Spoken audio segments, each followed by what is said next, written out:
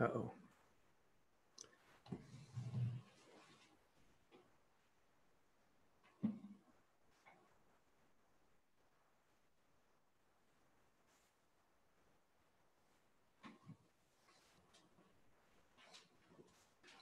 Sorry, I forgot to turn off my other speaker. And hey, how is everybody? Crystal, how are you? I'm doing good. All right. Gavin, you doing all right? Yes, sir. Doing pretty good. Did you watch the uh, YouTube for Tuesday? A lot of information there. Yeah, I haven't yet. I'm gonna take a listen to that probably after this class is finished. All right. Yeah, make sure that you do. It was it's kind of long and important. But uh, today we're going to cover turbochargers, and um, uh, uh, they have a lot lot of things involved with turbochargers, but we're going to try to make it simple so you guys can understand it. Um, there's some uh, pages in your um, Canvas that are pretty good. I think they cover it quite well. And so let me start a screen share here. This is it.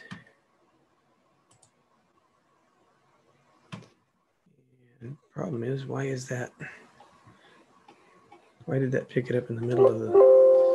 Hmm, I shouldn't have picked it up in the middle.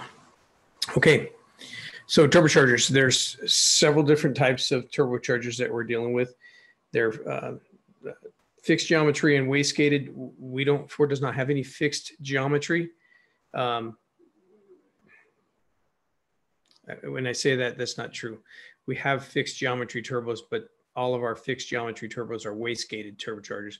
And then we have variable geometry turbochargers. So we're going to kind of explain what that means as we go along here. So we're going to cover um, what turbochargers are.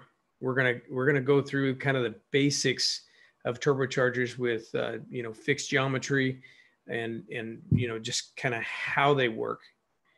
And then and then from there we'll get into uh, how they wastegate them and then and then the variable geometry and then we have a uh, we have series turbochargers. Uh, we use parallel turbochargers in our gas engines, but we don't have any parallel turbochargers in our um, in our diesel in our diesel engines. And then we have um, a single sequential in the six sevens from 2011 to 2014. Kind of a complicated turbo, um, but uh, we had it nonetheless. So we're going to kind of cover all that tonight and hopefully be able to understand how it all works. Arturo, welcome. Yeah. Um, you missed Monday night or Tuesday night. I did post a I did post the video of that up there. Um, probably worth watching. It's got some pretty good animations. And Crystal, I did put I did put a uh, all the animations on a PowerPoint in, in there so you can see all those again. Thank you. You're welcome. I, you know what? I didn't go back. I, I'll go back and do that with the HEUI ones too. I don't think I did that with the HEUIs, but okay. I, I will do that with the HEUIs. Okay. So the purpose of turbochargers is to supply additional air for combustion. Um, I'll just read this slide. Uh, using exhaust gases to drive a centrifugal pump um, helps to enhance engine operating efficiency, and we can ultimately make more power out of a smaller engine. And that's what we're doing these days. In the older days, they used to just make more power out of big engines, but now we're taking and turbocharging, you know, very small engines and getting a lot of horsepower out of them, and because we can just make them more efficient.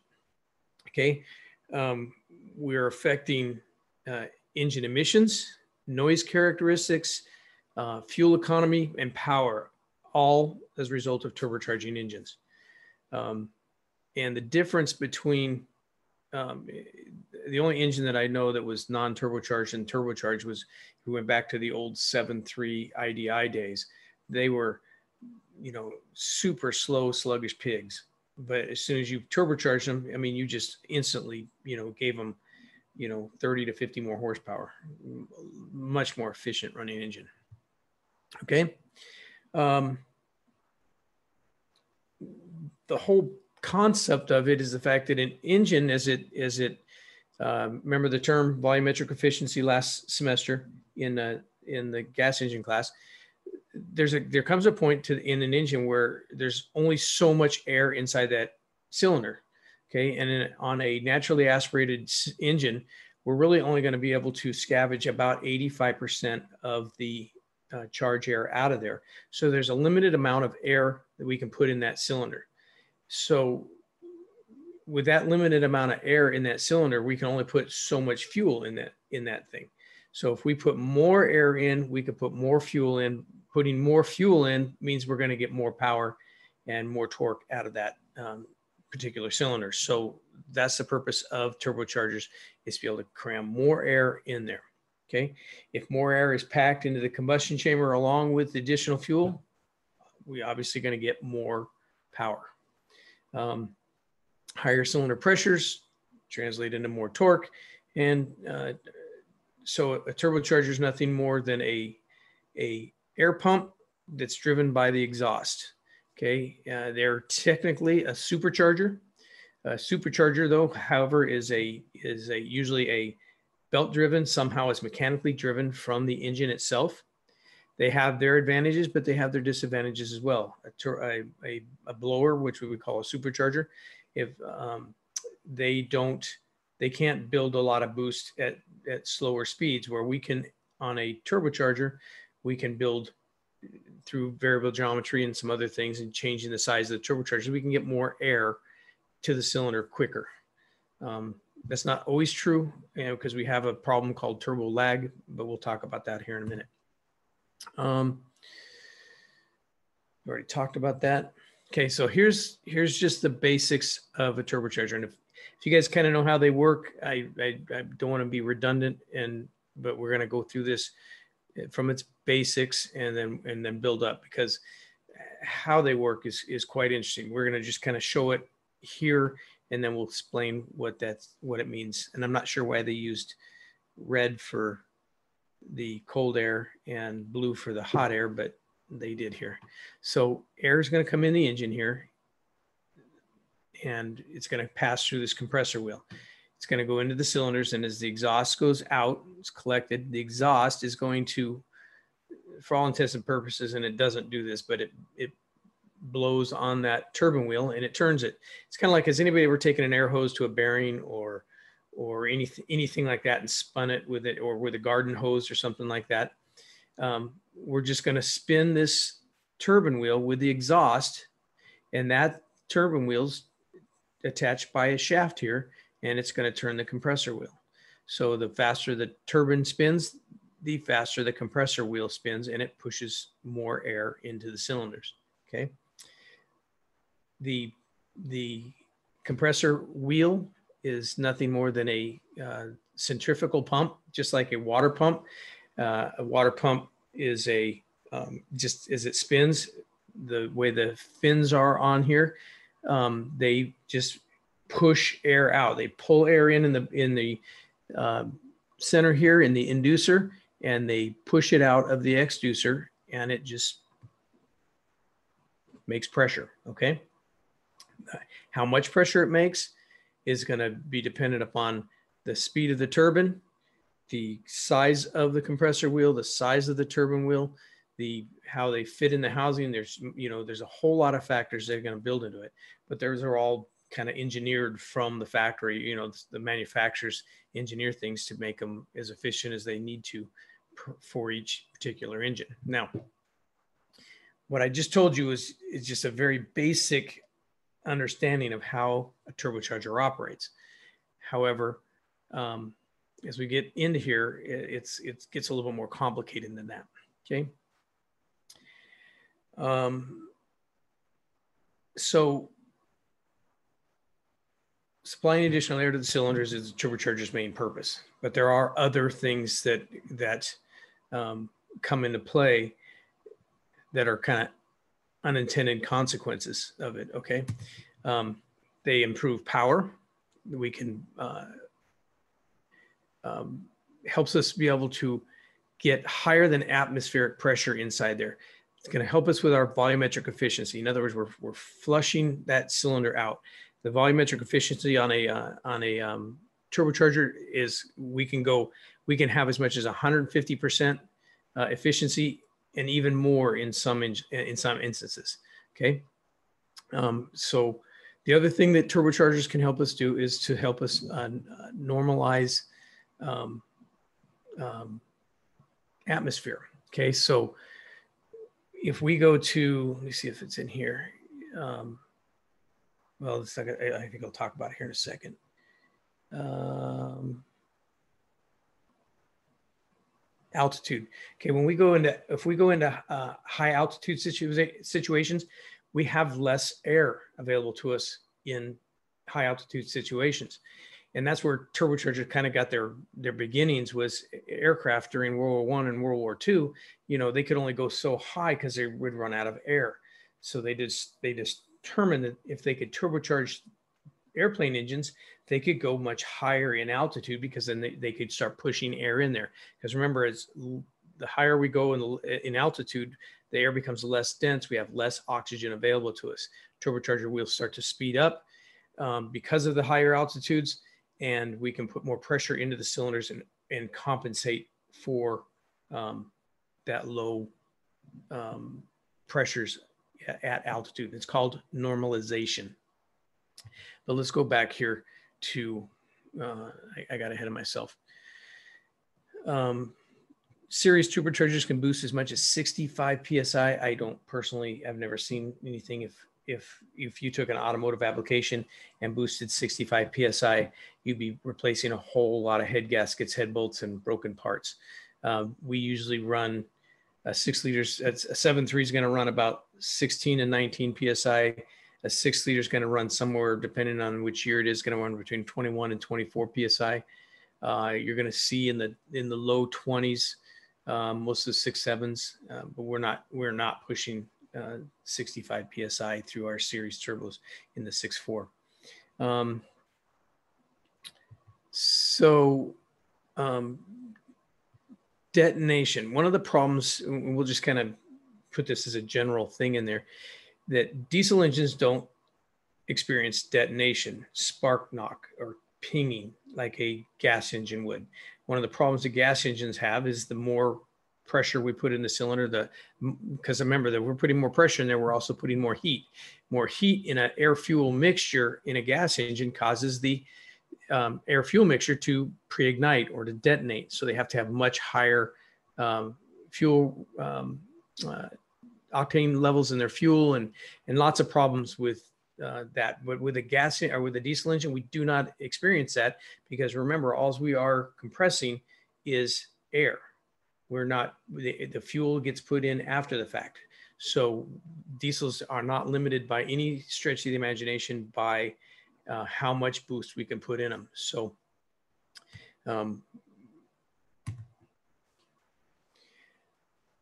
so emissions reductions so we can start playing because because we have the extra air available to us we have the ability to really lower hydrocarbons particulate matter and and carbon monoxide make them really clean. The flip side of that, the downside of that though, is we end up with higher NOx because of uh, higher boost pressures and stuff. But we can we're going to combat those in some other ways, and we're going to talk about EGR next Tuesday, and uh, one of that's one of the ways we're going to uh, combat it. But um, so we talked about uh, altitude. Okay, so turbochargers are going to convert exhaust energy into mechanical energy. So how how do we do that? The energy from the exhaust is, is what's producing the power. So I think I have a picture. So the exhaust as it leaves the cylinders, and this is important to get your head around. As the exhaust leaves the cylinders, all the expansion of that exhaust has not yet taken place there's still some unburnt fuel and the gases are still expanding as it comes out. As it works its way through narrow exhaust ports, and exhaust manifolds and, and all the tubing and everything to get to the turbocharger, it's still, all that expansion is still very trapped inside there. And as we bring it into the turbine housing, it's going to go through a nozzle. I think I have a picture of it here. Okay. We'll go through the pieces of this here in a minute. But as the exhaust travels through the snail shell inside here, it's going to be squeezed down to a nozzle right here. Now, I don't I want to confuse you with this, but think about a garden hose. And if you're if you just have a garden hose just open, it just runs the water out. But if you put your thumb over it, you can spray it harder, correct? So we're going to do the same thing here with a nozzle inside the um, turbocharger. It's and it nozzles nothing more on a fixed turbocharger than a than a cast part of the casting in here, and that exhaust is going to start um, is, is going to start expanding against this turbine wheel. So what moves the turbine wheel is not the pressure of the exhaust blowing across it, like you would think if you're blowing on a, you know, the little the little fans in a um, in the yard that the wind blows, and you kind of blow on them and they kind of spin. It is not is not a wind or or exhaust pressure um, blowing across it that spins it. It is the expansion of the gas. As those exhaust gases come out, they start to expand. Okay, so if you think about it here on the outlet of this turbine wheel going to the exhaust, that is, for all intents and purposes, atmospheric pressure. So you have all this pressure build up inside the uh, volute, uh, volute in here. And this nozzle right there, the gases come out of there and start expand. They can expand to their, and they start losing temperature right there. You'll see a big temperature drop right as those gases start to expand. And it says expansion of gases that drive the turbine wheel. Okay. That is an important concept for you to understand. It is not, it is not pressure like air blowing across it or anything like that. It's the expansion of those gases. Okay. And the more heat that we're putting in the cylinders, more fuel we're putting in the cylinders, the more heat we're putting in the exhaust, and the more heat and and pressure, all that expansion, that's what speeds it up and makes it go faster and faster and faster. Okay. That is what's happening. And you can see in this picture here the, the progression of temperatures as this thing, the gases coming out of the exhaust manifold are only 650 degrees. They enter the turbo and go through the volute. And by the time they get to the nozzle, they're like 900 degrees. We, because we are compressing that gas, making it hotter. Okay. So then as it expands and hits that turbine wheel and, and expands and releases into uh, atmospheric pressure, look at the temperature drop we have from, from going into that turbocharger and coming out we lost almost 500 degrees across that turbine wheel. Okay. That's why they can know the speed of a turbine wheel, of how fast the turbo is turning by its by the temperature. And a lot of uh, larger applications, um, they will put actually put temperature probes on the exhaust so they can know how what what the temperature is. And you'll see you'll see a lot of uh, aftermarket uh, like really common in the six liters. They would put uh, aftermarket gauge sets in there, and they'd put an exhaust probe in the exhaust and and have a temperature gauge. But they're checking the temperature clear down on the exhaust manifold, not at the turbocharger. And, and it's if you're gonna if you're gonna watch turbocharger temperatures, you need to watch the temperature on the turbocharger, and and and know this. You're gonna know the basically the speed of the turbocharger based on its heat. And so if they start getting around 1300 degrees, that turbocharger is way overspinning itself and it become it can become a problem. Um, just just to give you a little perspective on how fast a um, turbocharger can spin uh, some of them will some of the smaller ones will spin up to 180,000 rpms that's 180,000 times a minute. That's 30 I believe if you do the math on that, isn't that 30 times a second. That's that's like crazy, crazy fast. So that that is how a turbocharger gets its power is from the expanding gases across that across the where to go across the turbine wheel here and then that just all that does is drive the the compressor wheel and the compressor wheel does the exact same thing the compressor uh, turbine wheel does. It just does it backwards. So so just since we're looking at this picture let's let's talk about this. So this is called the volute and it is a, it is in the shape of a snail shell. Turbochargers are always kind of round and they're in the shape of a snail shell. Okay the snail shell is called the volute the nozzle is the part where the gases actually come out and expand and hit on the turbine wheel. We have a turbine wheel. The turbine wheel is going to be uh, broken into two, two parts. The part that drives it up here is called the inducer. And as the exhaust leaves the turbine wheel, it leaves the, it goes through the exducer. And that really is not that big a deal to you, but I'm just giving you the information here. Uh, the turbo is going to be uh, either on a floating bearing. We'll we'll talk about that a little bit, or a ball bearing, and then it just just straight drives this. It does the exact same thing. All the pieces are the same. You have a volute, and you'll have a um, ah. Th- this is called something else, and I can't remember what it is. Um, but your air is going to go. Uh, it's going to get pulled in here, and the wheels uh, backwards. It's going to call the inducer is going to be the part in the front here, and the air is just going to be slung centrifugally and put out by the exducer and is pushed into through this uh, opening here that has a name that I can't remember. And, uh, and then it goes out to the volute, and then the volute ultimately has an outlet port that's going to have some sort of hosing or something that's going to go to the intake manifold. That is a turbocharger in its in its basic form and we don't have a lot of basic turbochargers anymore, but that's that is how a turbocharger operates. Whether it's in a whether it's in a, a you know in a itty bitty little car or all the way up to a you know big giant stationary you know generator or something, they're all the same. They're all the basic parts are going to be the same. Okay, I alluded to a to a um, term earlier called turbo lag, and, and anybody who starts talking about turbochargers, will will will always have that term turbo lag. and what is it?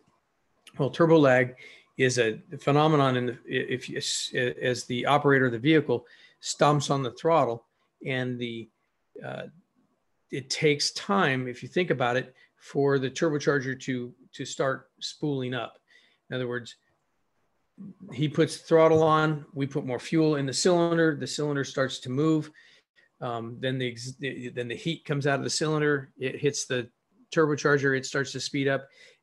That that takes time. It doesn't happen instantly.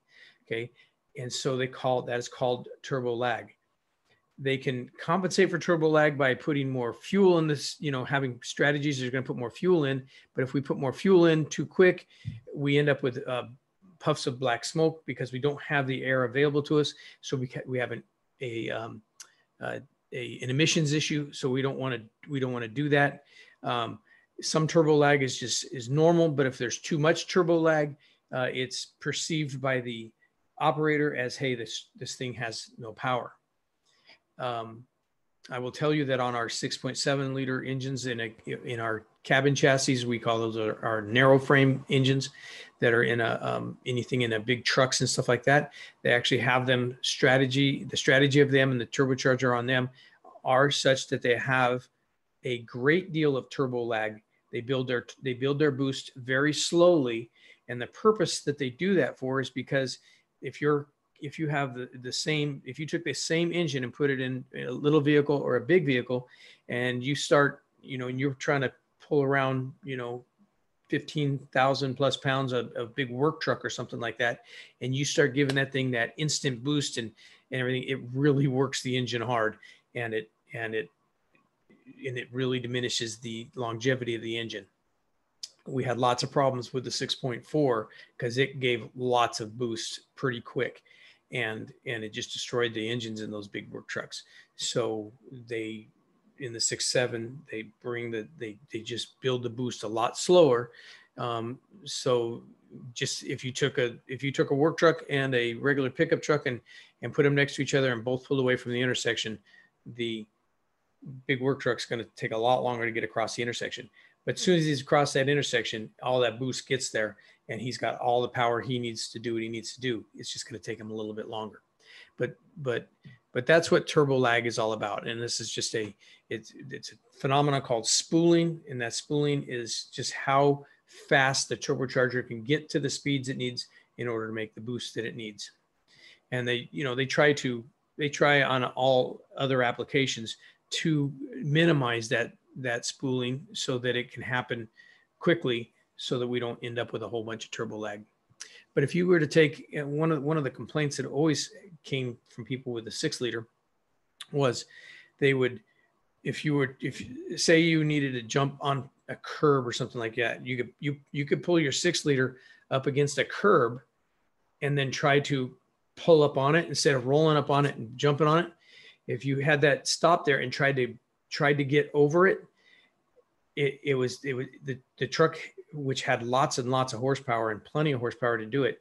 It struggled to get off that up that curb from a dead stop because it took time for that turbo to spool and the way it built its horsepower it, it took some time but, but then it would eventually just jump and grab it but it was people complained about it but i don't think anybody designed that engine to jump curbs it wasn't it wasn't it's in the plan um, we talked about all of that. Okay, so types of turbochargers that are out there.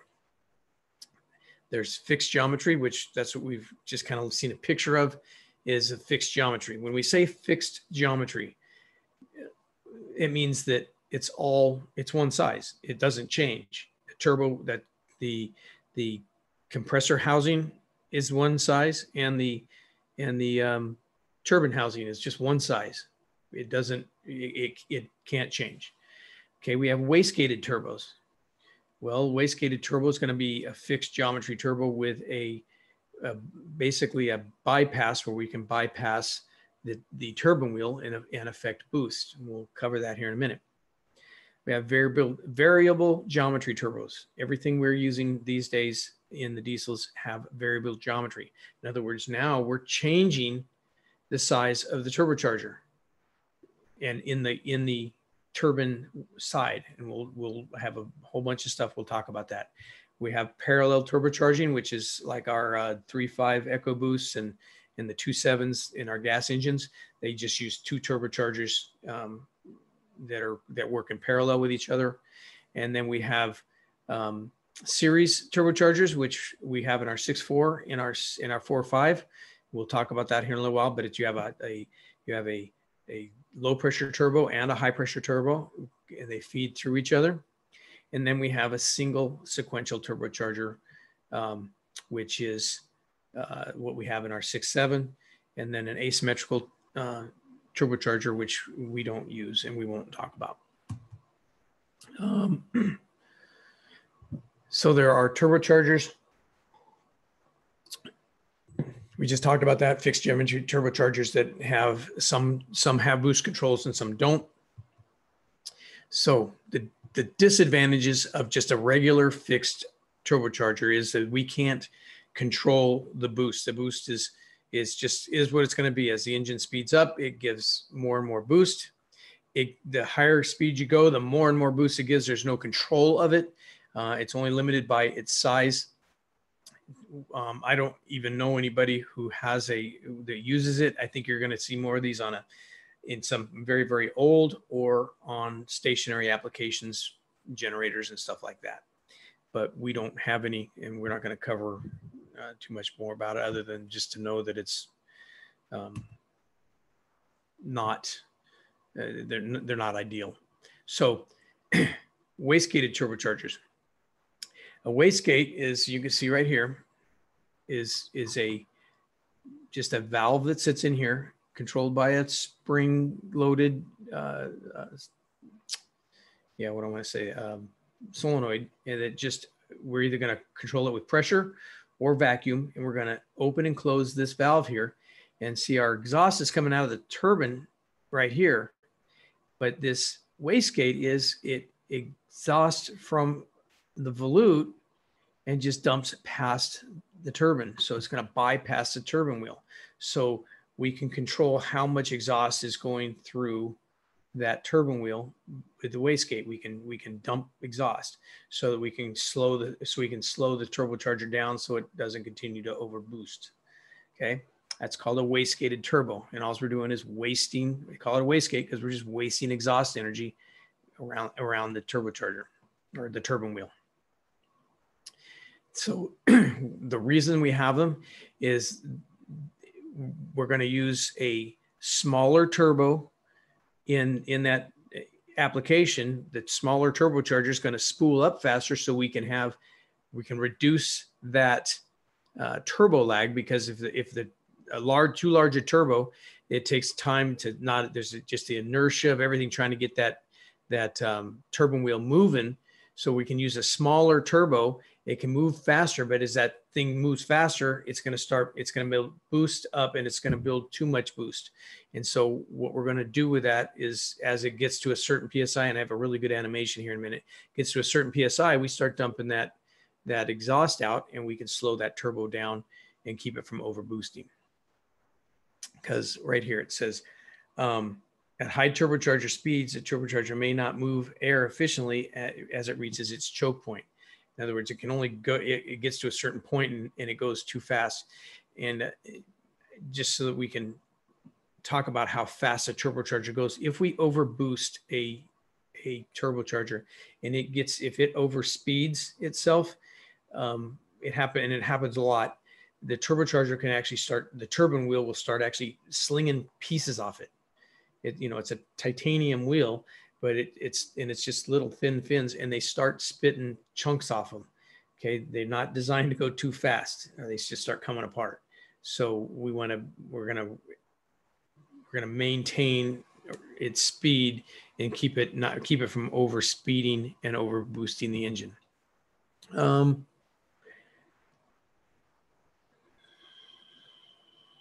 we already talked about that.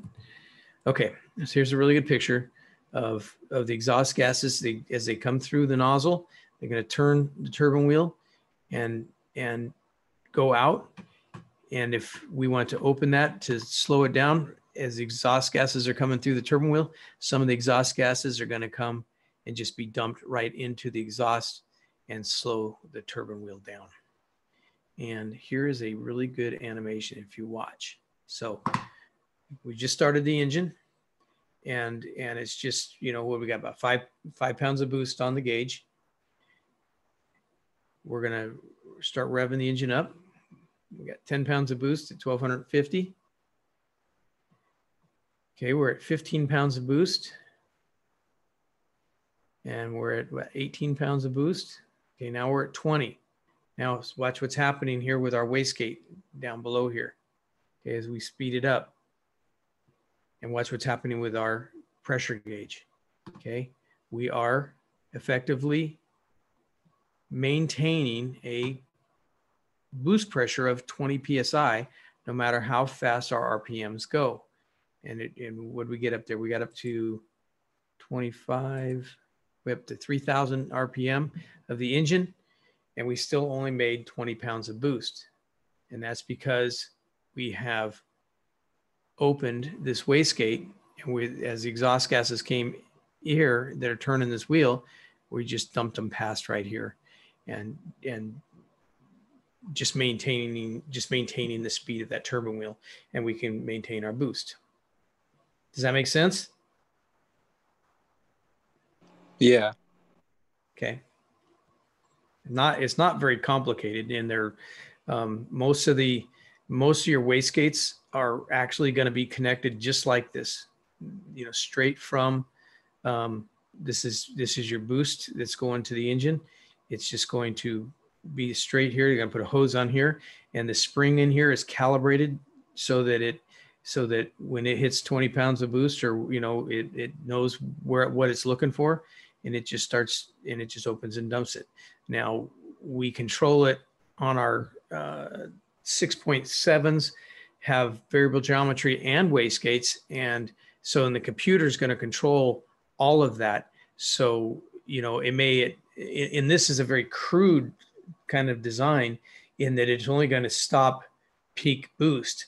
But there might be times when different driving situations where we don't want super high boost or anything like that. And so the computer then, if we can, if we computer control this with a in the in the six seven, we do it with a vacuum, and we can put it through a solenoid, and we computer control that vacuum to this solenoid, and we can we can in every driving situation reduce boost, make more boost. We can use it to really tailor everything that's going on so that we can we can get better fuel economy and we can lower the emissions. Um, and I think emissions are really the driving force for most of this. Um, think we just talked about that. They're going to use either air pressure or vacuum to operate. And they're just going to, and it's just an actuator that's working against the spring. The spring's going to keep it closed. It, the spring's going to keep it closed, and we're going to either going to open it with um, with pressure or open it with vacuum. Yeah, it's a really good picture of it's a really good picture one. And the spring here is just going to keep it keep this against its seat here. And this one here is going to have pressure, this particular one. You're going to put pressure here, and that pressure is going to just push that off its seat.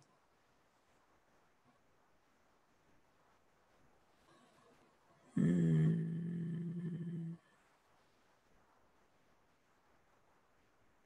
Okay, so turbochargers are constructed in three parts. We have a turbine housing, a compressor housing, and the center housing. Um, the center housing is often referred to as the uh, CHRA. It would be the center housing rotating assembly. Um, we used to be able to on the six, I think we still can on the six liter. We had so many problems with the turbochargers that we had the ability to buy just the CHRA, which is the center housing, which that it had the rotating assembly in it. In other words, it had um, it, it, has the housing that has all the oil controls, and then it had the, the turbine and the compressor wheel and the shaft in it. It was just a, a sealed unit that you could buy, and then you could just put the compressor housing and the turbine housings on, you know, just swap them from the other one and put it together. Um, the compressor housing is where the um, inlet and the outlet for the uh, exhaust come to it. Um, some of them have our six sevens have two ports on them so that the, the both manifolds can attach to it, and then the exhaust pipe is going to go out the center of it. Um, the turbine housing is going to have the volute inside of it. It's going to carry the nozzle and everything to run that compressor wheel the um, this is, I think, a picture of the compressor side of this housing, and um, that's what it's called. It's called the diffuser. That little that little piece that I was talking about earlier, I couldn't remember what it was.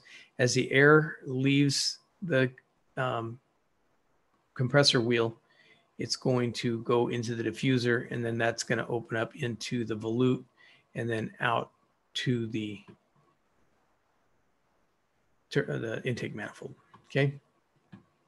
Um, don't know that there's anything new there. We need to talk about uh, the volute. This, we can talk about these pieces. It's the snail shell shape of the housing. We've talked about that. Um, becomes the turbine housing becomes progressively smaller as the exhaust travels into the system, and that's what causes it to heat up. And then, and then, uh, then the nozzle is the part that squirts onto the exhaust uh, turbine wheel. Um, that's the exact same picture we looked at before, only it's a little bit bigger. Um, and I think, do I need to talk about this anymore? Or do you guys get a handle on what's going on there? Understand? Okay. Yeah. I'm going to move on. Um, there's there's all kinds of um, you can get into if you would get into the readings in the book and and some of the readings I put out. There's all kinds of different factors that are going to affect how how a turbocharger boosts its pressure. Uh, you know, based on its shape and the type of wheels that they have and all of that. Um, However, we're not going to, we don't need to talk about all that stuff because the manufacturers and the engineers design this stuff and you're not kind of redesigning anything. Um, so, um, so this is, this is where we were talking about the inducer is where the air comes in, the exducer is where it comes out, and, and it's the opposite here. The inducer, the exhaust gas hits here, and the exducer part of it comes out in here. It's not on a test that I'm gonna. I don't think it's gonna be. It's not on the test. It's just part of it so that you know you can act smart if somebody ever ever asks you. Okay. Um. So, the center housing and the bearings. There's two different kinds that are out there: the plain sleeve and roller. We're going to talk about the plain sleeve bearings. Uh, Ford does not make any turbochargers with roller bearings uh, right now. Um, they, they're more expensive, but they do work much more efficiently. But um, this is what a compressor, this is what the whole shaft is going to look like on almost any of our turbos. And what they are is they've got these bronze bushings that ride in the center housing. They have holes in them, and we're going to have pressurized oil is going to come and and flood these things with oil, lots and lots of oil. We have lots of oil that comes these. Then you're going to have a bearing here. It's kind of a thrust bearing. It's going to keep the the shaft in line so it doesn't come around and hit. Uh, I have one. I have a have a turbo in the shop right now that I took apart.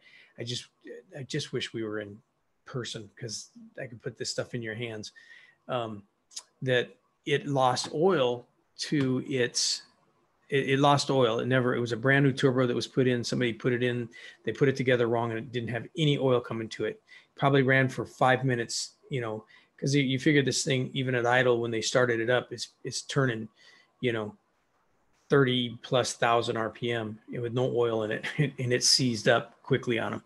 But it what failed is this axle bearing. And, and what happens is that that bear that that shaft is now walking in there and it, and it got itself caught up because it's all failed. But these bearings, the bronze bearings, they just sit and they float in there. And, and this thing literally at those speeds, it's, it's floating on a film of oil. It does not, if it was make contact with those bushings, we would have failure quickly. So they, it just floats on, on oil. In fact, when these things are, when we test the turbocharger, the the you have lots of play in that wheel because it's because there's you know but as soon as it oils up it floats right in the center there are seals in here that are made of cast iron and there's usually two per side and uh, these if these fail we end up with uh, oil either in the exhaust or oil in the intake if they fail and we fill up oil in the intake system the engine can start running away on its oil and uh, you, and you can have a real problem. Um, I had one, had a, yet another one today that both bearings had failed. Uh, the bearings had failed and it caused both bushings to fail. And the exhaust was full of oil and the intake was full of oil. It was a, quite a messy situation. Um, there we go. I think we talked about that. Okay, the the center housings are dynamically balanced. They're not made for us to be able to take apart. We we can take them apart like that, but they're they're they're put together and then balanced so that they are balanced as a unit. And we can't we can't if we have a if we had a compressor wheel on one that got damaged and you had a compressor wheel on another one that wasn't damaged, you couldn't just take them off and switch them because they wouldn't be balanced together. And and at lower RPMs, it's probably not a big deal. But when you're, you know, this thing's turning close to 100,000 RPM, if it's not in balance, it will just destroy itself. So you can't, you can't just start messing with them without balancing them. Um, this is just picture of how the oil comes in. We're, we're going to oil them and the oil is going to be under pressure and these things are going to these bushings are going to sit in here and they're just going to flood these bearings with oil and then it's going to um, and it's just open hole back to the crankcase lots these these things have lots and lots of oil flow one of the problems one of the failures you're going to get with turbochargers and um, we don't have a we don't see a ton of problems with it because of the the you know the makeup of our turbos and the fact that they're water cooled now and and stuff but it's a it is an it, it is a a problem with heavier equipment in that you know somebody takes a big truck and they just pulled a big load and just stop pulled in the gas station and turn the the engine off with this thing you know with this exhaust housing could be you know 900 degrees or more and you just turn it off well all that heat in here is just being transferred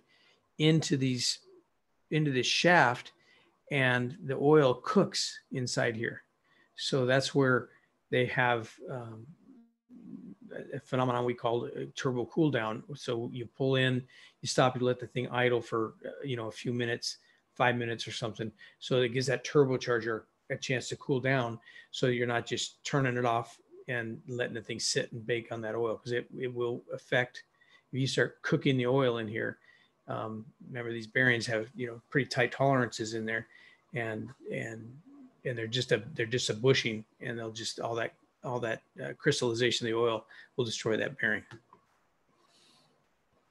And here's some pictures of them um, how they balance them so that they're in the so that they're in the right shoot, maybe we won't talk very long at all tonight.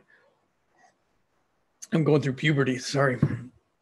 Um, this is how they balance them. They they they they they grind on the nuts. They grind they grind on the wheels. They do all kinds of stuff to bring those things into balance. So we have some housings. I alluded to that a second ago.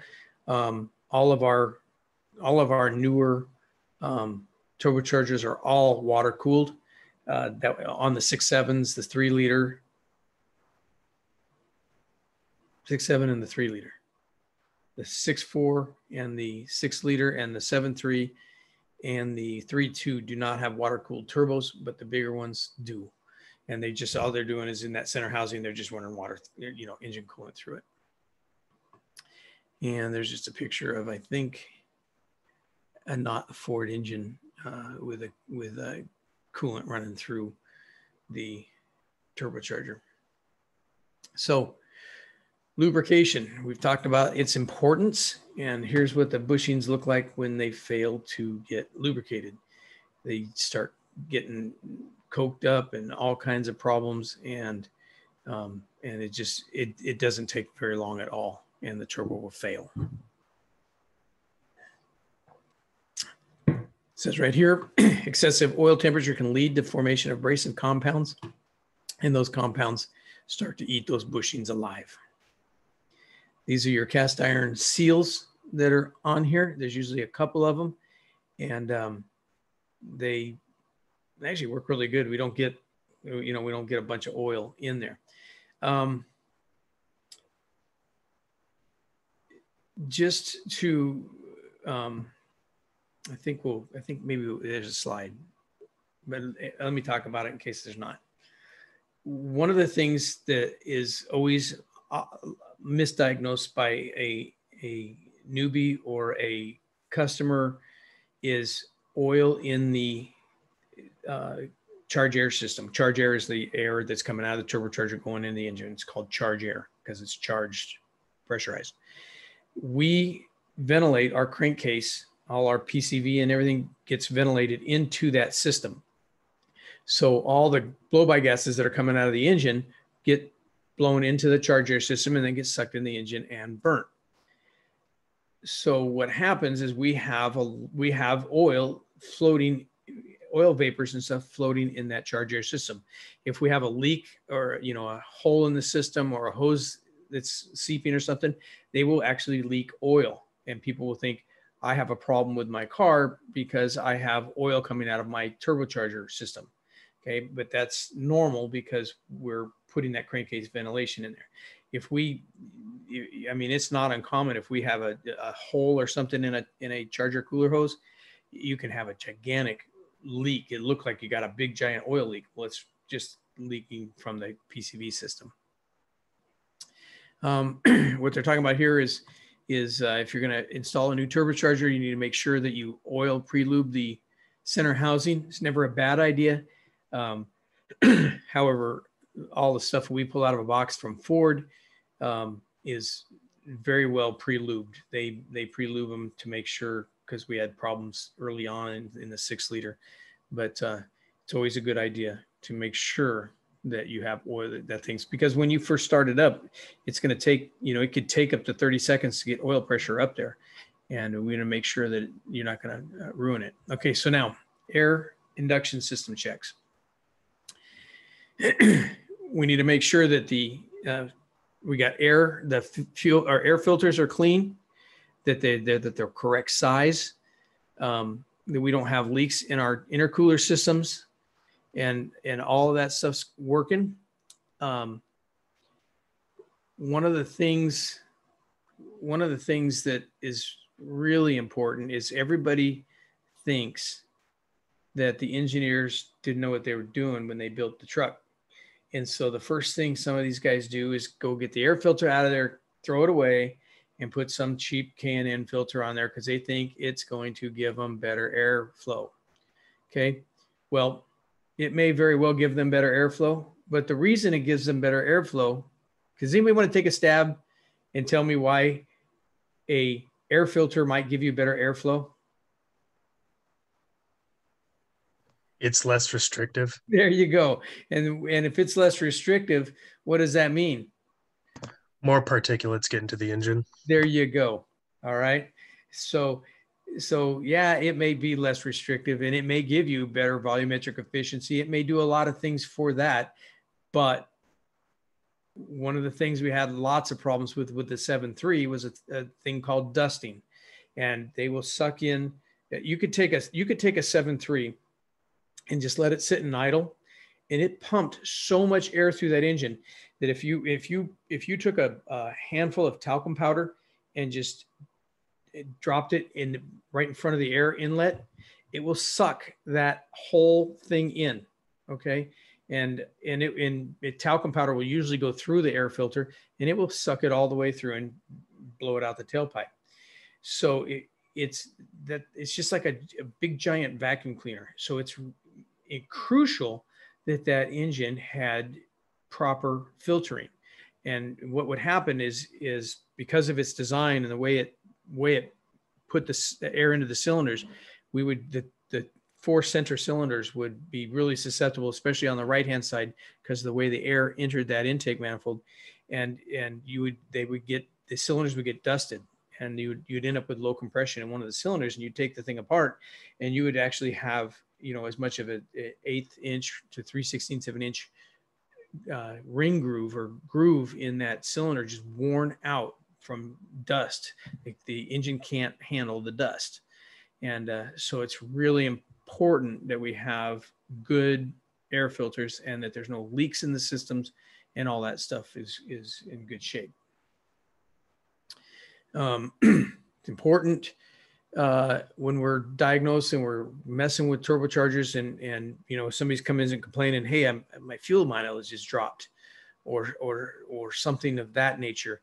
Uh, the seven threes were real susceptible and uh, to the exhaust collectors from the exhaust manifolds coming up to the turbocharger. They had these uh, these seals in there, and they were kind of they they could move around and do some stuff. Well, they would dry up and move and then they would start leaking. So you would lose exhaust pressure. Okay. So if that exhaust is leaving and going someplace else rather than into the turbocharger and we lose that exhaust back pressure, well, you start losing the efficiency of the engine and fuel mileage goes down and stuff like that. So it's imperative that we not have exhaust leaks before the turbocharger. We need to, we're trying to get all that hot exhaust into the turbo and make it work um, people will again start trying to modify and mess with uh, things. The six liter, there must be there must be 50 companies out there making making all these better mousetraps for the six liter, and they just most of them are just most of them are just a problem. They don't they don't work really good. They leak. You know, so you just need to make sure that everything's working properly.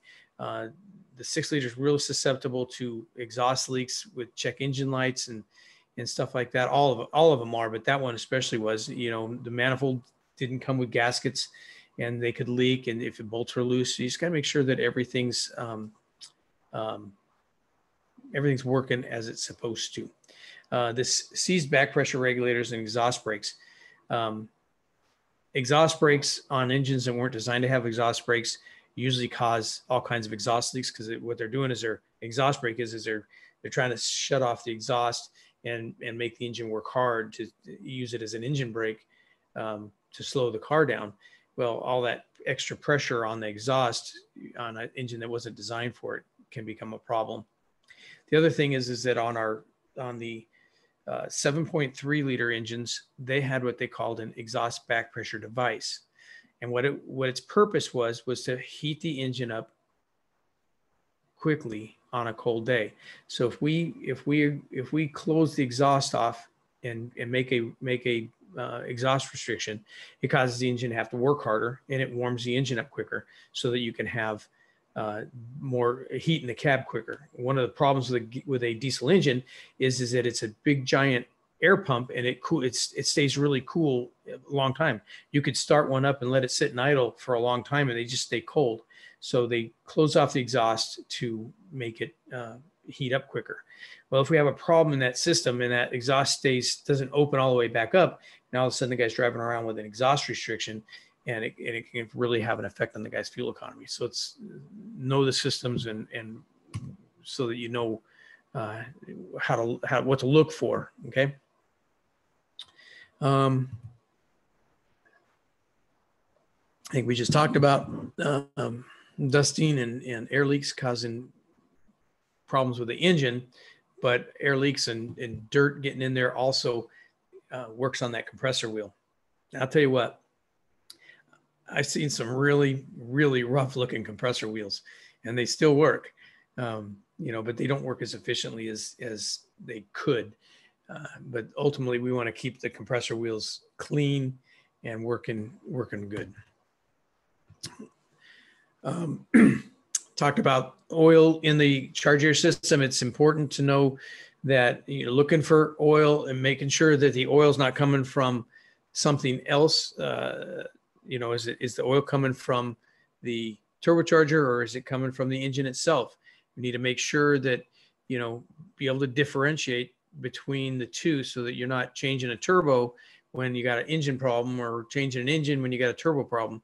Um, likewise, uh, you have coolant coming out. Okay, remember we have coolant that is in the turbocharger.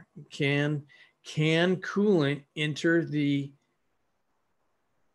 oil into in, can coolant get into the exhaust or can coolant get into the intake part of a turbocharger? I would argue that it cannot okay? I guess there's poss- some weird possibility that it could but many people have changed the turbocharger because they've got a water cooled turbocharger and coolant running out the tailpipe well, the reality of it is it's almost always a problem in the cylinder head cracked ahead of it and the coolant just ran ran through the turbocharger. But but yeah. So also we're talking about the compressor side and if we have oil getting into the compressor side, you know, we're going to make sure that we that we're not mis- misdiagnosing the fact that we have that PCV oil running through the system and not uh, not some kind of oil leak into the into the uh, uh, compressor side. Now, I will be quite frank with you. If you have oil coming into the compressor side, you usually will know you have oil coming in there because it's coming in under pressure, and it's going to have it's going to be usually be a lot of it. And if it's a little bit of it, you know, it'll it'll definitely you'll definitely see it, and it will usually cause the engine to smoke or something because it'll it'll be burning that oil. Um, so there's some pictures of of oil in the compressor side.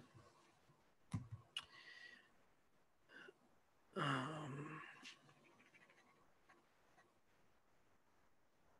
We just talked about that. Okay, here's some, here's a, you know, picture of bent damaged wheels. Uh, if you, if you experience a uh, problem like this, the, the fix for that is to replace the turbocharger itself. You can't, you can't fix that. And uh, uh, not an uncommon situation for, for especially on the 6.7, uh, the air filter that sits in there.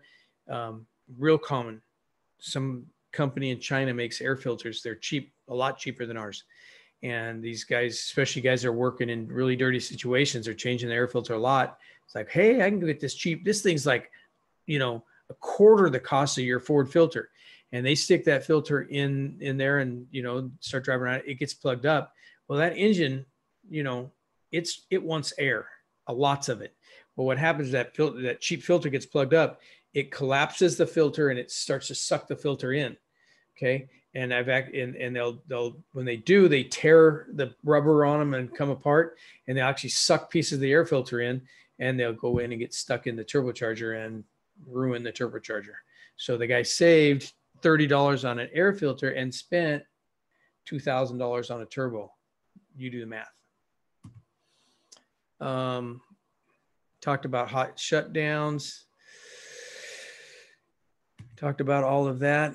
Okay, so let's talk. We're gonna before we get into some of the other types of turbochargers, um, we're gonna talk about charge air cooling. So I already said what charge air is. Charge air is the air that's coming out of the turbocharger that is above atmospheric pressure. That is considered charge air, and that air is going to uh, now now it's under pressure. What happens when we pressurize when we put air under pressure? It rises the temperature. What happens when we rise when the temperature air rises? We lose um, density. And what are we trying to get into the cylinder is dense air. We don't want hot, thin air. We want dense air in there. So we have a now we have a problem because we're putting hot air. If we don't treat it, we're putting hot air into the cylinders. Okay, and that helps.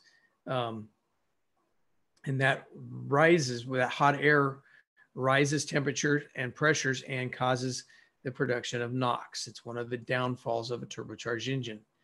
So we're going to try to combat that problem by cooling um, the air. And also, also in, a, in its simplest form, we're going to put a, a radiator in front of the engine and we're just going to pass air through it. Okay, it's an air to air uh, charge air system we're going to put air through one side. It's going to be hot as the air passes over that radiator, cools that air down, and going to take that cooler charge air into the intake manifold. That's its simplest form. We have um, most of ours are air to air after cooled.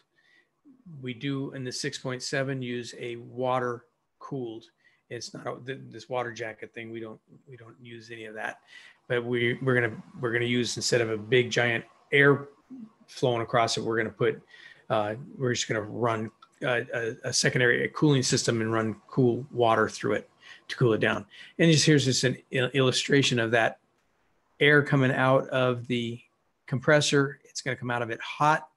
We're going to pass it through charge air system, going to remove that heat, and we're going to have cooler, denser air going into the intake manifold. Uh, we talked about that. We don't want to lose density.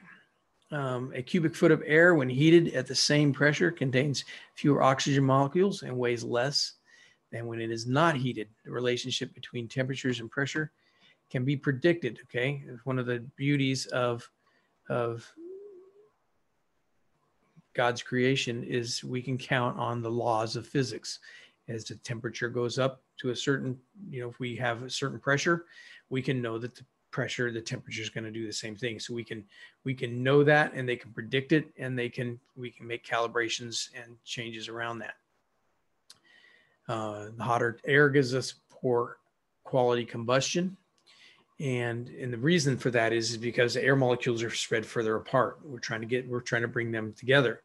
Now, at the same time that we're we doing all that, and we'll talk on next Tuesday, we're putting in exhaust. We're going to put in EGR into the system to try to spread those air molecules apart to try to control combustion. So a lot of stuff happening here. But power decreases 1% for every 10 degrees of that air temperature above 90 degrees. So it's imperative that, you know, if this thing's that if this thing's up uh, 50, 150 degrees, then we're going to have 6% decrease in power, and that ain't cool. So, also, if we have too hot of air coming in there, we can start having piston failures because of the heat. We the, the engines can't handle that kind of hot air coming in.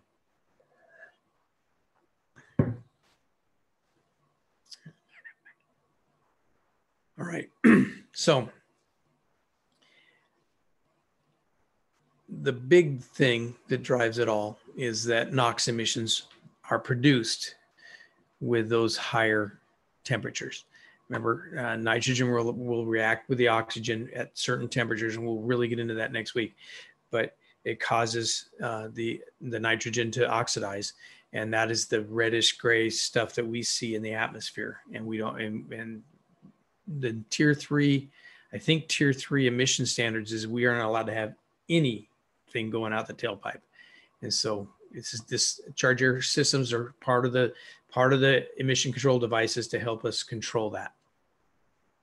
So cooling the charge air has the following benefits. It increases air density, more oxygen contents gives us the ability to have more uh, power, um, more mass in the cooling system, and denser air improves fuel economy up to 5% due to the better combustion qualities. So we're going to reduce our NOx. Uh, we're able to, to have higher injection rates. Uh, we talked about in, injection rates with uh, um, the common fuel system. We really can affect how we're, we're, we're injecting that fuel and at what rate we're doing it. So if we keep the uh, combustion temperatures at the right temperatures, we can we can have a lot more fun with the rates as they put the fuel in there. So we just get the ultimate power with that charge air system. Okay. Um, I think we need to talk about that.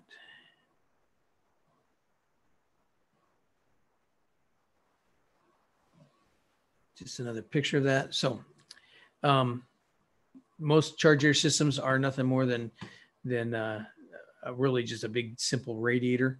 Um, one of the one of the inefficiencies or one of the problems we have with with air to air systems is we have to um, the vehicle has to be moving. We have to have airflow across that. If we don't have the airflow, then then we have a problem. And so that becomes an issue in situations where um, you know, back east where it's really cold and stuff, people will put uh, kind of like put um, a bra on the front of the vehicle and and kind of a blanket over the front to keep the engine warmer. Well, when you start starving the charge air cooler for air, now we can't. Now we're overheating those pistons again because we're we're overheating the air. Okay, so we can't use those with those kind. We've made improvements in that with the 6.7, and we put a charge air is just a nice little thing. It's probably, you know, the size of a, you know, maybe one foot by one foot. It's not very big, but the air goes through and it just goes through a heat exchanger with coolant running through it. So now we've got coolant running through it through a secondary cooling system that the temperature that stays really cool all the time. And so now we don't have the problem of airflow. We we can have that we can affect the temperature of that air on that charge air system at any speed. So, um, so problems with charge air systems, we're going to make sure we don't have any cracks. They get cracks in them. They leak. Uh, we have problems with. Uh, they sit in the front. They're usually the.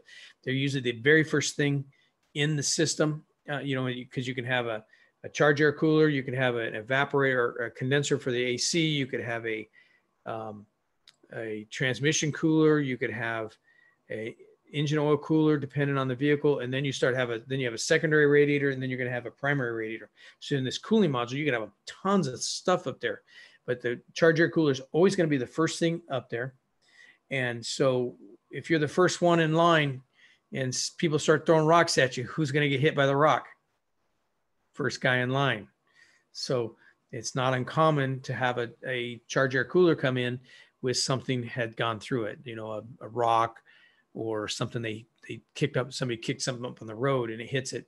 And they'll usually manifest themselves as an oil leak because remember we have oil in the charge air system and uh, you'll see a, you know, they'll start to see depending on the size of it, you could have a leak in there. So uh, it's important that that uh, we look for leaks and cracks and stuff like that. But it's also important that the fins aren't all bent over and that we have not full of dirt and bugs and everything.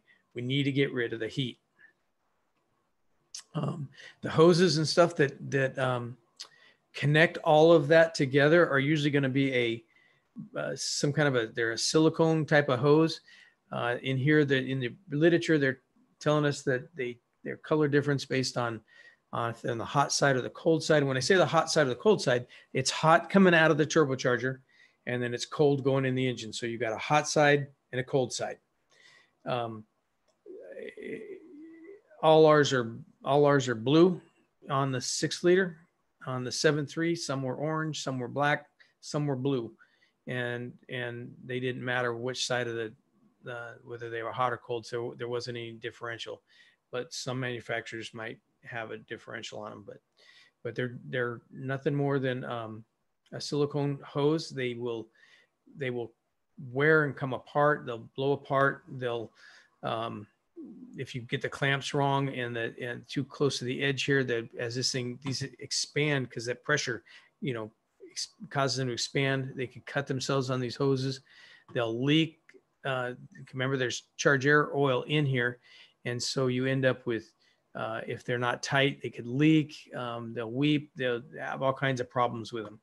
Um, they'll they will try to blow off. It's important that when you cha- when you have them off, that you you know it's not like a, a coolant hose where you put some lube on there so it slides on. These have to go together dry. If you put them together with oil or anything on them, they will they will blow apart. And uh, and there's nothing more exciting than romping on a throttle, wide open throttle, and get the max boost and have that big hose at you know 25 pounds of pressure blow off. It sounds like a shotgun went off under the hood, and it's it's really loud. So we want to make sure that they're dry when we put them back together. Um, yeah, a blown off hose or a leaky hose will cause, uh, you know, it could, get a hole in them and it could get a hole in the bottom where you can't see it. And it, and it doesn't really open up until it's under boost. And so, you know, it can be mis, you can misdiagnose a turbocharger because you have a low boost issue when actually you have a leak. So you need to be careful how you, what you're doing when you diagnose these things. Okay. So this is just a summary. I think we're covered everything on um, uh, regular turbochargers and charge air coolers. Does everybody, does that, all that make sense to you as far as all that was concerned? You know how a turbocharger works now, right? Yeah. Okay. So uh, we're going to throw a monkey wrench in here and we're going to talk about variable geometry turbos.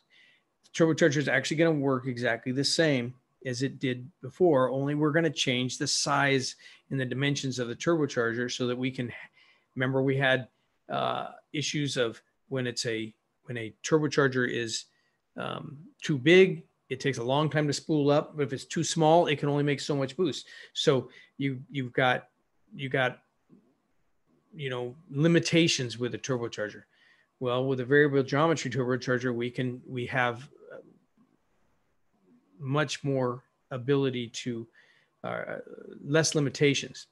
However, the reason, um, well, let's just let's just go through here, and then we'll talk about the reasons for this. VGTs are, are technically technologically advanced alternatives to fixed geometry turbochargers and wastegated turbochargers. Um, VGTs help engines meet emission standards. We're going to talk about that in a second. They're uh, electronically uh, VGTs electronically vary uh, input intake boost pressures and exhaust back pressures by the PCM controls those things. Uh, series turbochargers supply more airflow than VGTs, and we're going to talk about variable geometry and series turbos. Um, and boost pressure, boost pressure multiplication in, we're going to talk about that in the series turbochargers. Dum, I want to sit and read these slides. Okay. So the 6.4 uses a dedicated module that's mounted on a turbocharger to run its variable turbocharger, whereas opposed to our six liter and our six sevens, the the VGT is completely controlled by the PCM through oil pressure. VGTs can operate as an engine brake. Um, they do that on some of the six sevens. Um, we can use it to ex- restrict exhaust flow during cold startup so that we can make exhaust pressure so it'll warm up faster.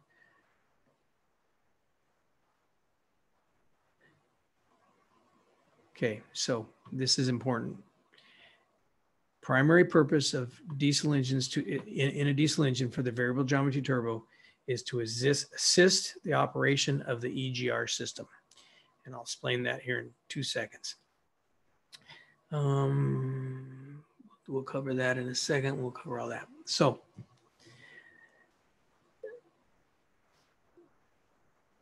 we're going to get ahead of ourselves in that the six point, I mean, I'm sorry, next week we're going to talk about EGR. And does everybody know what EGR is? Do we need to talk about that just briefly for a second? You get Crystal, do you know what EGR is? Exhaust gas regulator. Exhaust gas recirculation. Recirculate. Recirculation. We're going to put exhaust gas back into the intake system. Okay. So if we want to put exhaust gas coming out of the exhaust manifold back into the intake manifold, should be no big deal, right? We'll just hook it up and make it go in, put it through a valve and let it go in. Well, here's the problem that we run into. We have a turbocharger on this engine and we're putting high turbocharger pressure into the intake manifold. So we've got 20, you know, say we got 20 pounds of pressure in the intake manifold. And if we only have five pounds of exhaust pressure in the exhaust, who's going to win? We're not going to put any exhaust into the intake manifold, right? Because there's more pressure here than there is here. So now we have a problem. So they came up with high pressure um, cooled EGR systems, and that includes the use of a variable geometry turbo. And what we can do with the variable geometry turbo is create exhaust back pressure by closing the by closing off the exhaust, and we're going to explain how that happens in a minute here. We're going to create exhaust back pressure in the exhaust manifold system. That's going to increase the pressure of that here so that now we can have 25, 30 pounds of exhaust pressure overcoming 20 pounds of intake pressure so we can push that exhaust in here. So now we have a problem in that we're raising the pressure of this exhaust. What happens when we raise the pressure of exhaust? If we raise the pressure of any air, we're going to raise the temperature again, aren't we? Okay, so now we have a problem. So now we have to put it through an EGR cooler. That's hence the term high pressure cooled EGR. And so we're going to raise the temperature of this, raise the pressure of this exhaust. We're going to put it through an EGR cooler. It's going to cool that exhaust uh, air down and we're going to introduce it back into the intake system. Okay, and we'll get into that at nauseum next Tuesday. However, you just need to know that that was the original reason that they developed a variable geometry turbo was to overcome the situation with exhaust pressure in the EGR system. Okay. Um,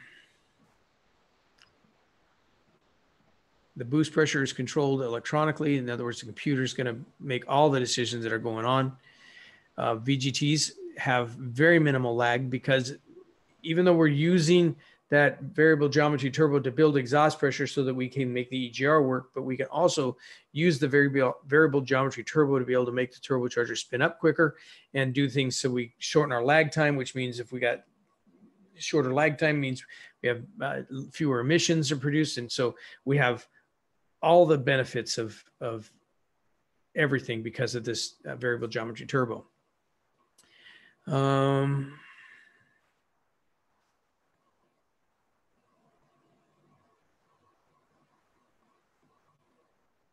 think we've covered that. So how do what what how does a variable geometry turbo work? Well, I think I think I have a better slide right here. Okay, so remember on the snail shell, and we had the nozzle in the snail shell, and the nozzle blew allowed the exhaust gases to um, expand onto the turbine wheel, and then the turbine wheel, as the gases expanded, it moved the turbine wheel. Okay. So think about this. If we could take that nozzle and we could change it, remember the um, uh, example of the garden hose and you put your thumb over the garden hose and you can, if you put it all the way over it, you make a lots of pressure and you can stop the hose and it makes lots of pressure and you open it up a little bit and it, and it, and it really sprays out and then, and then you can, you can open it all the way and it's less. Okay we're in a sense going to do the same thing. We have a series of vanes around the volute. And so the exhaust is going to come in along this volute in here. The volute, is, this is just right inside the volute. And the compressor or the turbine wheel is going to sit in here and spin in here. And we can open these up and allow the exhaust to um, blow against the you know, onto the um, turbine wheel, or we can close them and create back pressure, or we can set them anywhere in between. So we can we can adjust back pressure, we can uh, we can adjust boost, we can do we can we have all kinds of of scenarios in which we can uh, vary this thing, and that's how it gets the name variable geometry turbo. We're taking what would normally be a a fixed dimension turbine housing and nozzle and changing the size of those nozzles. So where we what that buys us is the ability to immediately get boost and power out of that engine as opposed to having to gradually build it with a normal everyday old turbocharger.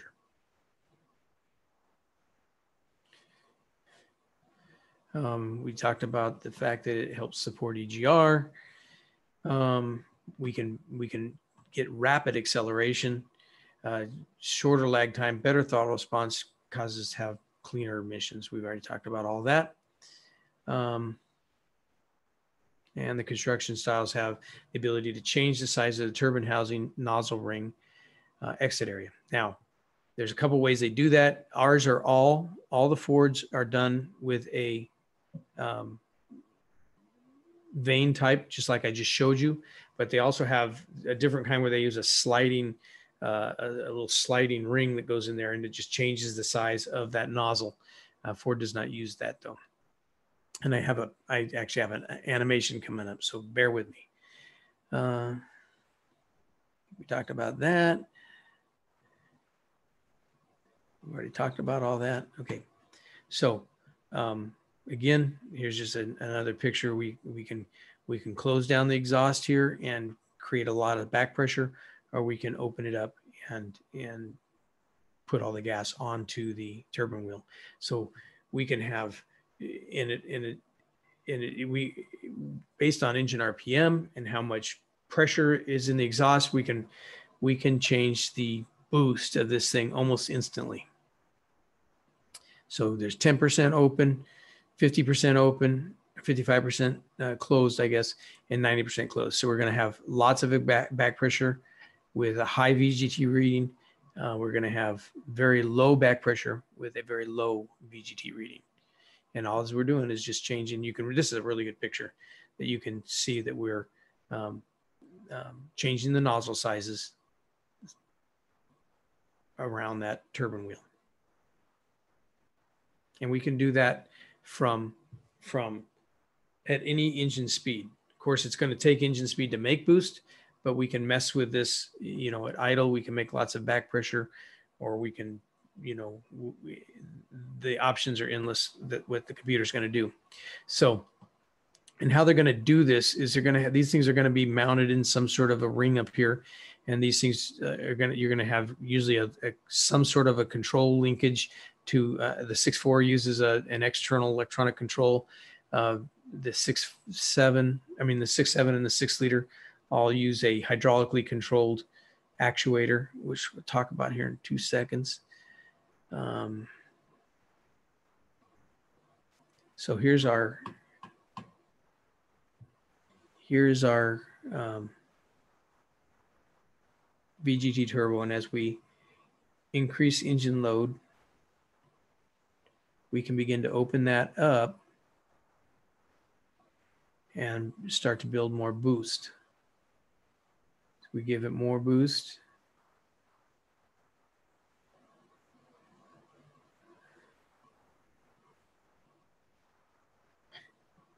And we can see our exhaust back pressure is affected by how open it is.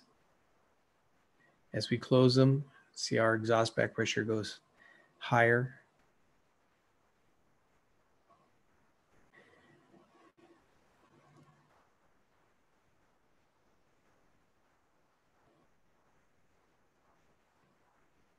See, we open them up, we, we drop exhaust pressure, and we start to build boost.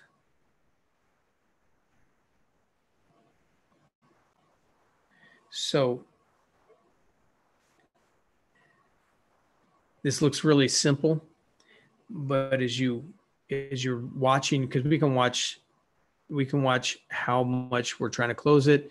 We can watch boost. We can exhaust back back pressure. We can monitor all these things as we're driving down the road, and and the the decisions that the computer's making about you know where the VGT is going to be, how it's operating, is is not like okay we're going to give it this and we're going to get this kind of boost. And because there's so many factors that roll into how much boost you're making. It's you know how much load you're under how what the engine rpm is and what the vgt setting is. All these things factor into everything that's that ends up uh, you know manifesting itself in exhaust back pressure and intake boost pressure and the computers you know it's got all these algorithms and everything that it's putting together to make everything happen so that we end up with a, a good smooth power with good fuel economy and uh, low emissions. So it's actually really quite um, a lot happening in doing it. But this is kind of just a basic picture of how that works. Um,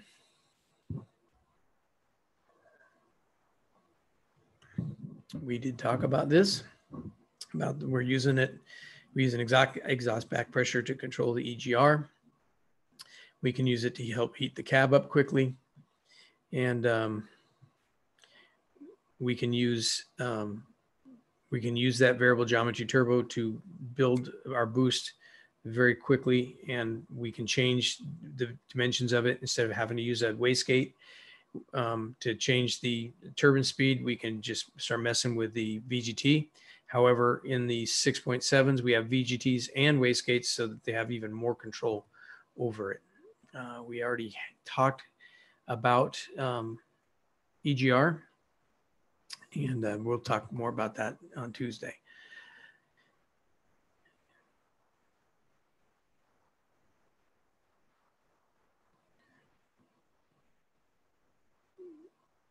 That just all just is the same stuff. I'm going to get to I'm going to get to the uh, sequential turbochargers here in a second. We've talked already about that. Here's a good picture of how these. Um, this is how a six seven. I mean a six a six seven and a six oh work. Is these um, pins are pinned into the housing here and this uh, unit is called a unison ring and little slots slide in here and as they turn this ring right and left these valve these vanes open and close and this hydraulic piston is is controlled by an actuator that we'll talk about here in a second. Um, so this actuator sits in a turbocharger here and it pushes, it doesn't push anything. I'm sorry. There's a piston that sits in here. And this actuator is going to control oil to one side or the other of that piston. This piston sits in that, this is that round piston. If we put oil on this side, it's going to push it that way. If we put oil on this side, it's going to push it that way. So how this thing operates, because there's no, Ford does not have any sort of feedback mechanism to tell it where that turbocharger is. It only knows that it has, um, it, it can monitor it by you by reading exhaust back pressure and says, okay, I know, I know the back pressure that I have and what I'm looking for. And so what it's going to do is it has a, a um, actuator in here that we're going to put oil on this side of the piston or on this side of the piston. And what it's going to do is it there's actually a little cam follower. This is this is a picture of a Duramax, but it's the same basic kind of thing. Only Duramax has a position sensor. Ford doesn't. Ford has a little follower. Let me see if the, let me see if I have a picture of that. I may not. Yes, this is the actuator.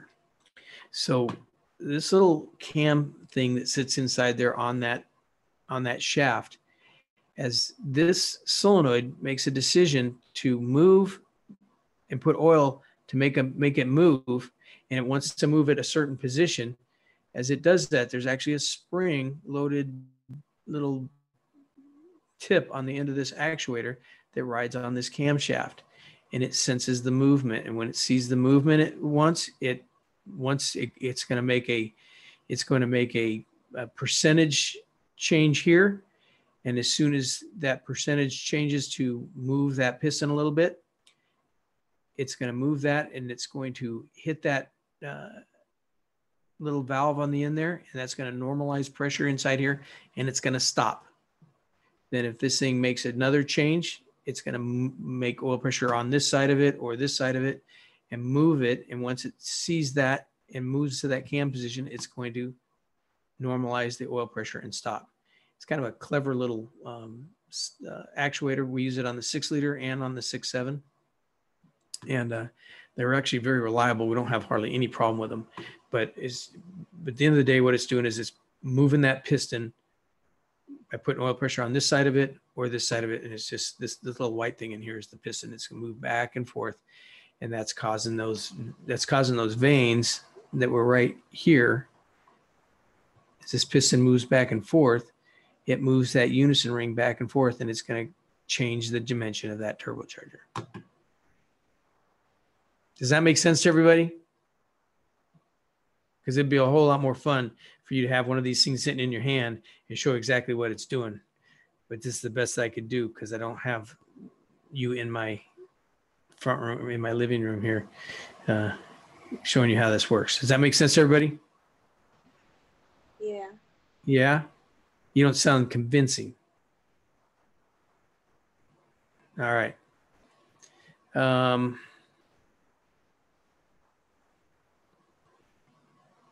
we use a back pressure sensor to just uh, we're, we're just monitoring the exhaust. The computer uses that to make uh, calculations. It's probably the most important calculation on most of them is what is exhaust back pressure doing. So it can know, so it can use that for EGR and, and everything there. Um, okay, so let's shift gears. If you guys understand the variable geometry, that how that's happening, let's let's change our gears to um, series turbochargers. When we say series, it just means we're putting them in line. We have a we have a low pressure turbo that's going to feed a high pressure turbo. We're just going to put uh, air is going to come into the engine through a low pressure turbo. That turbocharger is going to uh, boost at a lower at a low psi, and it's going to take that low pressure, and it's going to feed that that low pressure. I'm not saying low pressure. It's it's still above atmospheric pressure, but it's a low pressure turbo. It's going to feed that into the high pressure turbo and then the high pressure turbo is then going to change that to a higher pressure. Okay. So we have at low speeds, we have air coming in there. So you've got a, a low turbocharger, low, low speed turbo that's actually spooling up faster at lower speeds. So you have boost at low speeds, but then it's multiplied at high speeds. So we can have adequate boost at low speeds to help us reduce um, turbo lag and, and help emissions at low speeds. And then at high speeds, we have the high pressure turbo being fed by the low pressure turbo. And we can, that's how we can, we can gain those super high uh, turbo pressures. And like I said, I think that some of these people that are using um, uh, uh, series turbos are getting up to 65 pounds of boost, which is a heck of a lot of boost. We use this engine, we use this design on our 6.4 and on our 4.5. Um, they're pretty reliable turbos. We don't have a lot of problems with them at all. Um, like I said, we have uh, almost unnoticeable turbo lag, uh, great power out of them. Um, they are, they do take up a lot of space. That's one of the downsides of it is it's, is, um, if you, if you take the whole turbocharger setup on a six four, it's a giant monster sitting on top of this engine. And so it's not, uh, helpful for that. But um, so this is how this thing's going to work: is you have intake air is going to come in here to a low pressure turbo. It's going to feed a high pressure turbo, and then uh, through a charge air cooler and into the intake manifold. Um, we don't have a, we do not use a uh, bypass valve at all on our on our engines. Um, in fact, I think I have a picture of a, this is a picture of a 6.4. The exhaust gases are going to come in to, um, um, up from the exhaust manifolds into the turbochargers here. It's going to pass through the high pressure turbo first, and then it's going to go through the low pressure turbo and then out. But the intake air is going to come in through the low pressure turbo, feeds through this loopy thing here, and then goes into a, a high pressure turbo, which has a variable geometry turbo on it, and then through the charge air cooler and then to the intake system.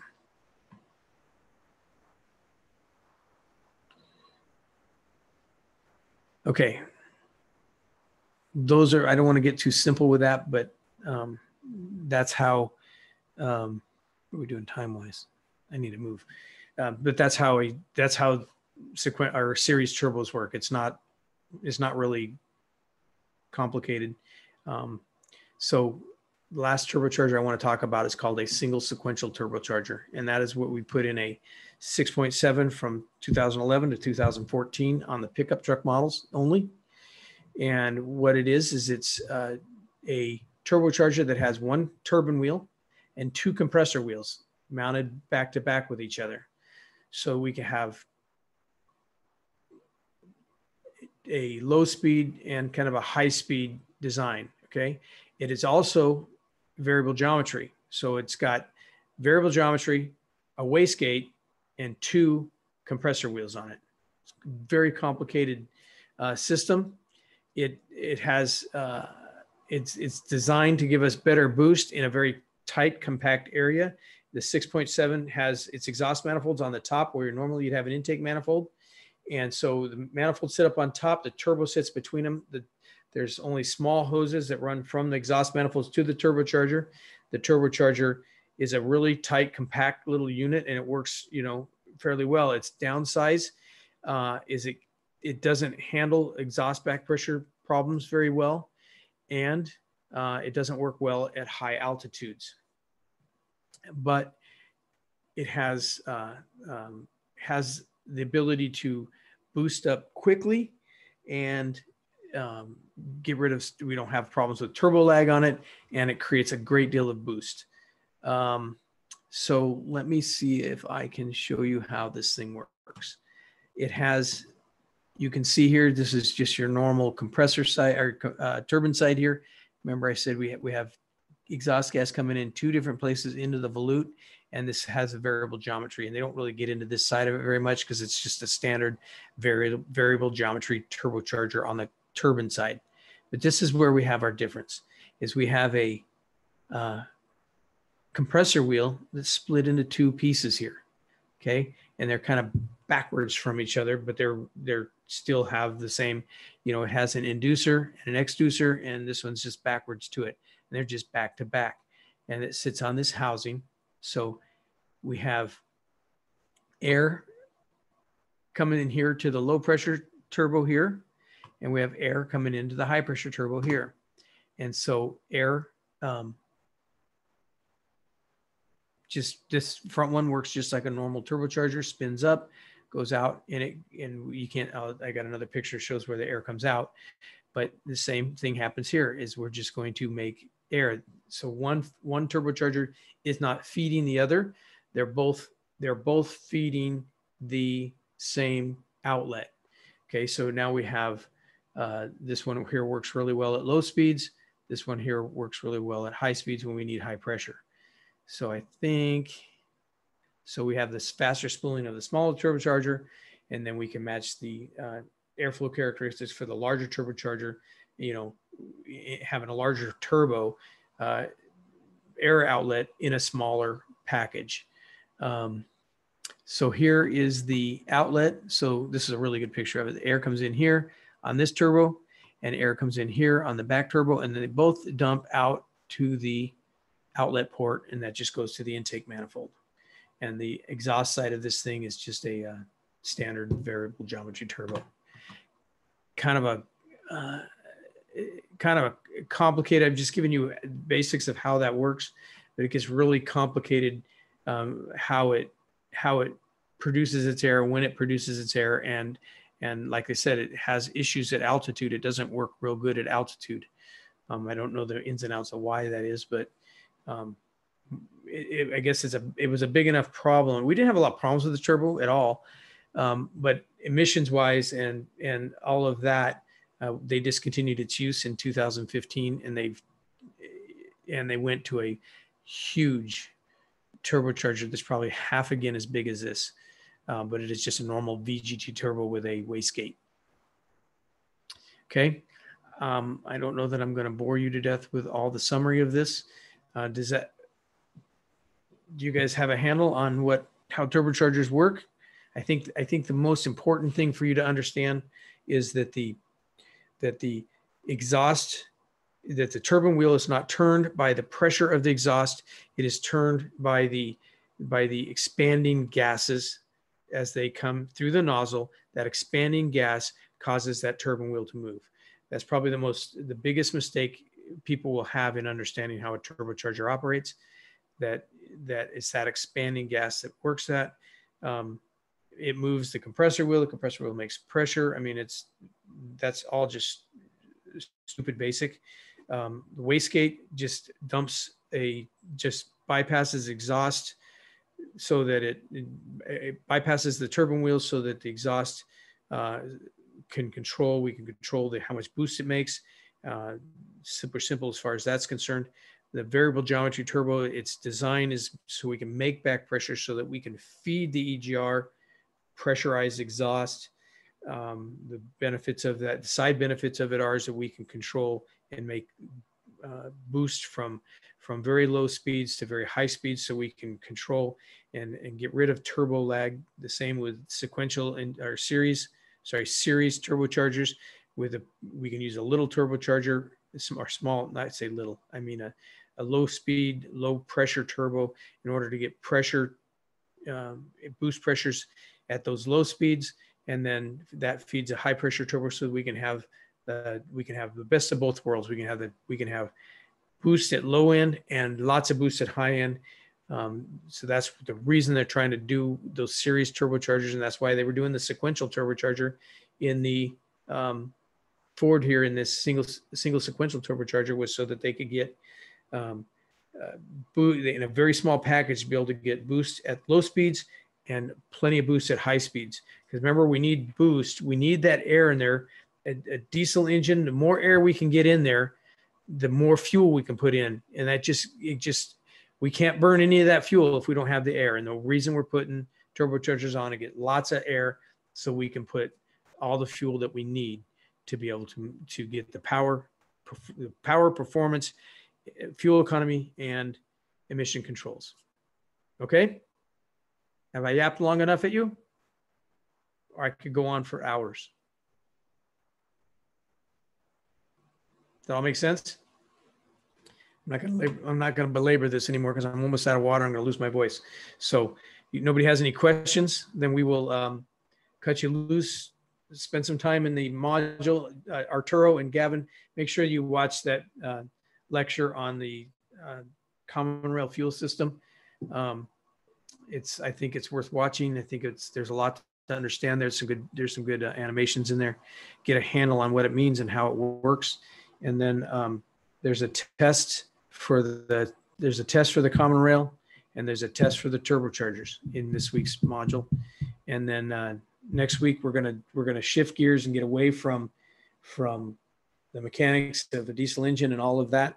We're gonna start getting into after treatments. Uh, EGR is actually a in-cylinder treatment for NOx, and then we're gonna get into all the after treatment stuff, the catalytic converter, the SCR, and the DPF, and get a handle on that. We'll spend some time in the weeks ahead uh, talking about how to diagnose some of this stuff. So if nobody has any questions, I'm gonna cut you loose, okay? Thank you. You're welcome. Thank you. All right.